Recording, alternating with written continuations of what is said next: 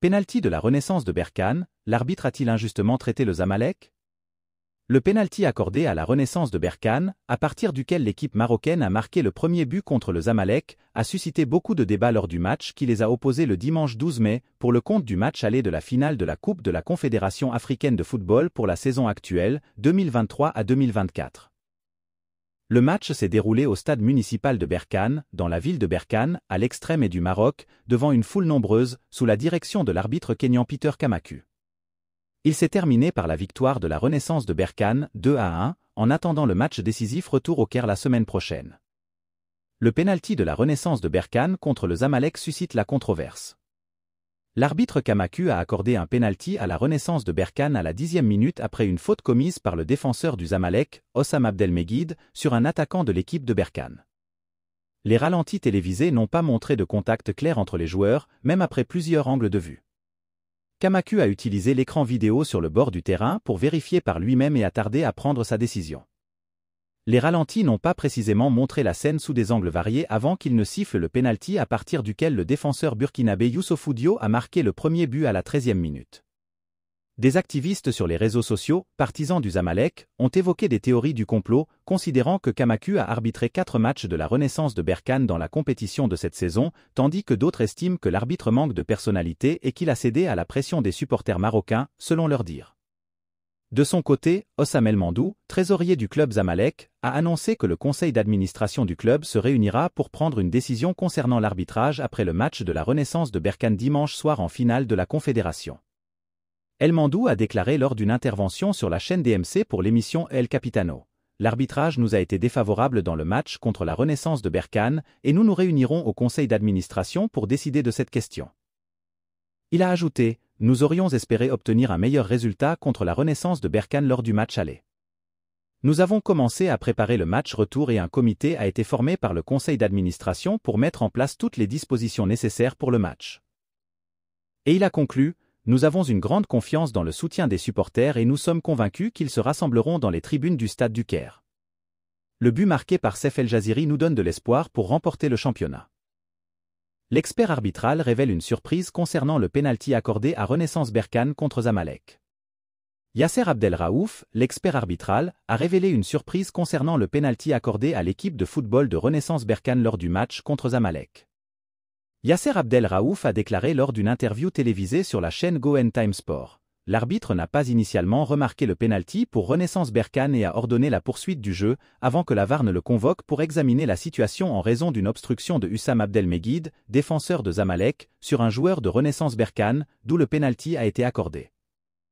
Il a ajouté, qu'en même temps, nous devons revoir la phase de construction de l'attaque, car au début du jeu, le joueur qui a récupéré le ballon et est entré dans la surface de réparation, l'image nous montre qu'il y a un doute sur le hors-jeu mais de certain.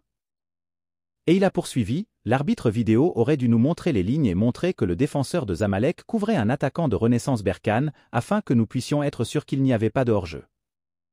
Il a également poursuivi en disant La séquence où le joueur de Zamalek a frappé méritait une expulsion pour le joueur de l'équipe marocaine, mais l'arbitre n'a pas vu l'incident, la VAR aurait dû intervenir car il y avait une faute sans ballon.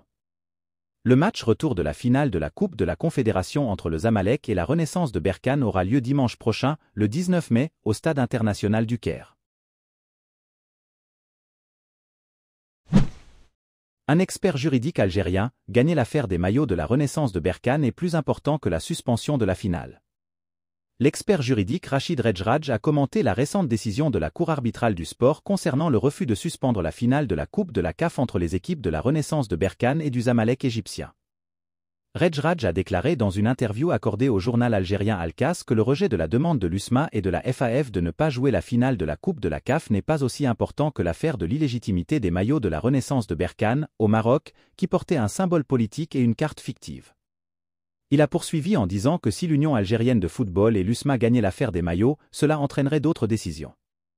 Rejraj a ajouté que si l'affaire des maillots est tranchée en faveur de l'Union algérienne, d'autres décisions seront prises contre l'équipe marocaine de la Renaissance de Berkane. La Cour arbitrale du sport a rejeté la demande urgente de l'USMA de suspendre la finale de la Coupe de l'Union africaine de football entre l'équipe marocaine de la Renaissance de Berkane et le Zamalek égyptien. La Renaissance de Berkane a battu le Zamalek égyptien à domicile avec un score de 2 buts à 1, et le match retour se jouera au Caire dans une semaine. La direction de l'USMA, tenant du titre de l'édition précédente, a présenté une demande conforme à l'article 37 du règlement de la Cour arbitrale du sport, mais cette demande de suspension a été refusée. L'article 37 du règlement de la Cour arbitrale du sport reconnaît qu'une demande de suspension d'une compétition repose sur l'appréciation par le président du tribunal de l'ampleur du préjudice grave que le demandeur pourrait subir et sur la validité de ses arguments présentés dans la plainte, ainsi que sur son intérêt par rapport à celui de son adversaire pour la demande de suspension. Didier Deschamps prépare un sale coup à Vladimir Petkovic. Le coach de l'équipe de France de football prépare un sale coup à son homologue algérien Vladimir Petkovic. L'ascension fulgurante de Michael Hollis dans le monde du football anglais continue de captiver les fans et les observateurs. Le jeune ailier français, qui évolue avec Crystal Palace, a de nouveau brillé ce samedi en inscrivant un but crucial lors de la victoire 3 à 1 de son équipe contre Wolverhampton. Cette réalisation porte son total à 10 buts en 18 matchs cette saison en Premier League, une statistique impressionnante qui ne passe pas inaperçue. Après son brillant doublé contre Manchester United la semaine dernière, Hollis confirme ainsi sa forme étincelante et sa capacité à influencer le jeu à un niveau aussi compétitif que la Premier League. À seulement 22 ans, il semble avoir surmonté les blessures qui l'ont éloigné des terrains pendant une partie de l'année 2023 et au début de 2024. La question qui brûle désormais les lèvres de nombreux amateurs de football est de savoir si Olise mérite une place dans l'équipe de France pour l'Euro cet été. Malgré son absence des sélections précédentes, les performances récentes du jeune prodige ne sont pas passées inaperçues du côté de Clairefontaine. Didier Deschamps et son équipe gardent un œil attentif sur ses exploits, laissant entrevoir la possibilité d'une convocation surprise, le chippant ainsi à Vladimir Petkovic. C'est en effet ce dont fait par RMC. La concurrence dans le secteur de jeu d'Olise est féroce, mais sa forme actuelle et sa capacité à faire la différence pourraient lui ouvrir les portes de l'équipe nationale. Des joueurs comme Moussa Diaby, bien que talentueux, traversent une période plus difficile, ce qui pourrait jouer en faveur d'Olise. Pour le joueur originaire de Londres, représenter la France à l'Euro constituerait un rêve devenu réalité. La tension monte à l'approche de l'annonce de la liste des sélectionnés, prévue pour jeudi prochain. Les supporters de Crystal Palace et les fans de football français retiennent leur souffle dans l'attente de savoir si le nom de Michael Hollis figurera parmi les heureux élus.